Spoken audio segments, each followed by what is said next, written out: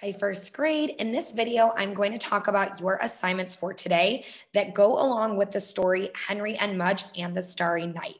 If you have not watched the first video that I posted where I read the story, make sure that you go and listen to that because these assignments go along with the story and you need to read the story or hear the story first to be able to complete the assignments.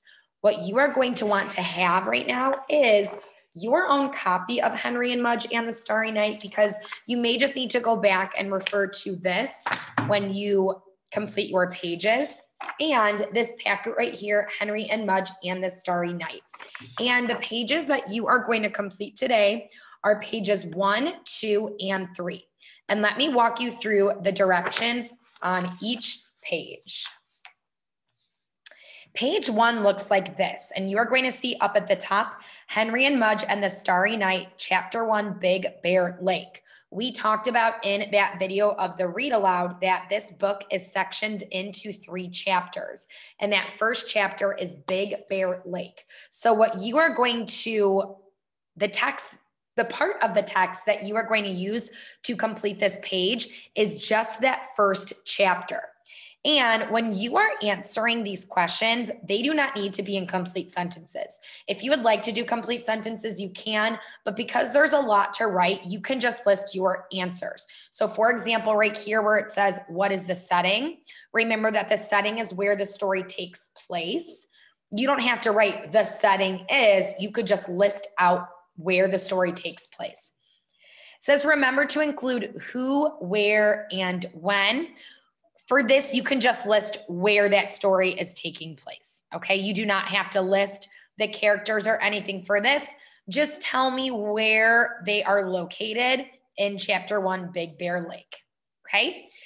Next, right here, it says list two things Henry's mother knows about camping. So, going back to that text, using text evidence and just listing two things that Henry's mother knows about camping. Right here, it says, What are Henry and Mudge hoping to see? Just list one thing that they're hoping to see. They talked about a few things they're hoping to see. Just please list one thing they are hoping to see. And then down here, it says, Write and draw. How do Henry and Mudge feel about seeing a bear? Just list over there how they feel about seeing a bear and then draw a picture of either a bear or a representation of how they are feeling or how they feel.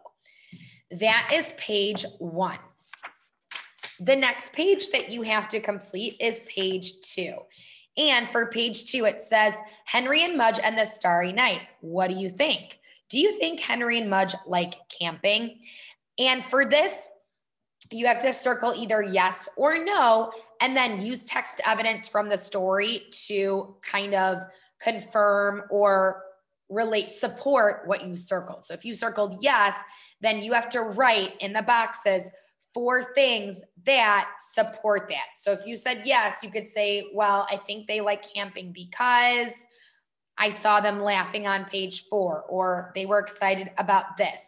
And in these boxes, you do not have to write complete sentences again, but you do need to write words. So they can be short phrases. If you'd like to write complete sentences, that is totally fine too but just four different pieces of text evidence that support what you circled, yes or no, and that support your choice about whether we think Henry and Mudge like camping or not.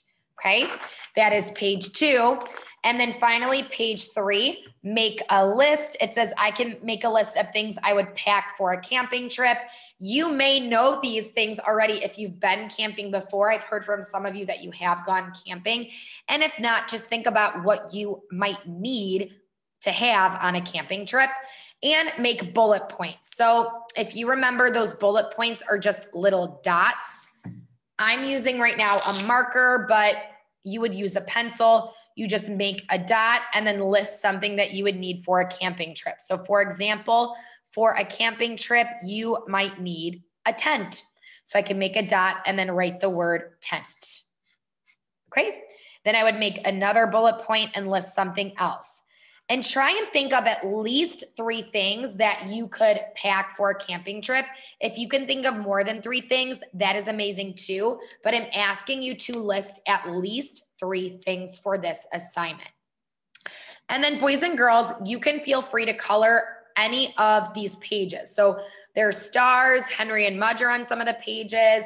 You see a fire here. You can absolutely color any of the pictures on these pages, but you do not have to. And then to post, you will put pages one, two, and three all on the same post. Just spread them out so I can zoom in and see all of the pages. And those are your assignments for today. All right, boys and girls, I am looking forward to seeing your completed assignments. And I hope you have a great day. Bye.